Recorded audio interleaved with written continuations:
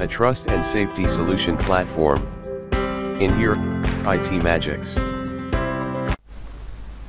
This is my Boya M1 microphone. Now this time I want to connect my microphone with my computer.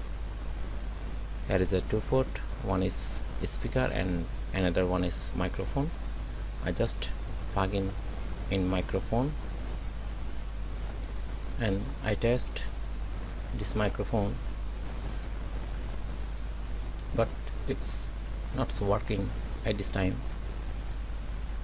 Now I go to Google Translator for testing microphone.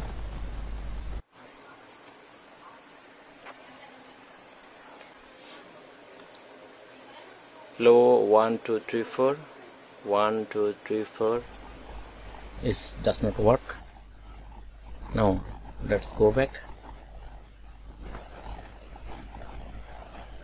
Now plug out the microphone and go back to the PC and here are also another microphone jacked backside on PC and this is directly connect your motherboard. I just plugging this port here now go back and check this microphone. And here you can see there is also notification on my windows. Now go check. One two three four five.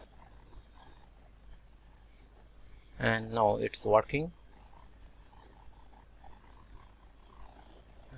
If your microphone is still not working. Now go to the sound settings. And here you can see that is the input device.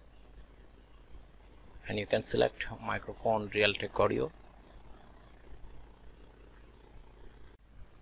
Then you can go advanced settings. Here you can see all of the apps also released and you can reset this. I hope your microphone also work thanks for watching sorry for my bad English Thanks for watching. If you enjoyed watching my video, please subscribe and share it with everyone.